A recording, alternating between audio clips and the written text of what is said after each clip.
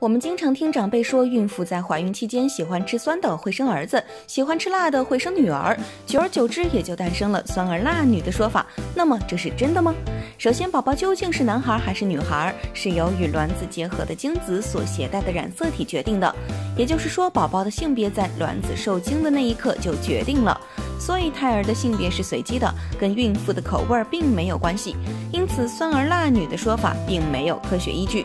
至于孕妇的口味变化，是由于孕期时内分泌变化、心理变化、生理变化以及饮食习惯等多种因素导致的。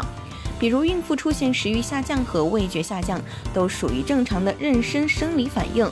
而此时，酸的食物和辣的食物可以刺激食欲，起到开胃作用，所以得到了孕妇的偏爱，也就与胎儿的性别无关。最后提醒大家，不管喜欢哪种口味，都应适量。为了您的宝宝健康，一定要记得营养均衡。好啦，本期世界之最就到这里。如果喜欢视频的话，别忘了点赞、分享、关注哦。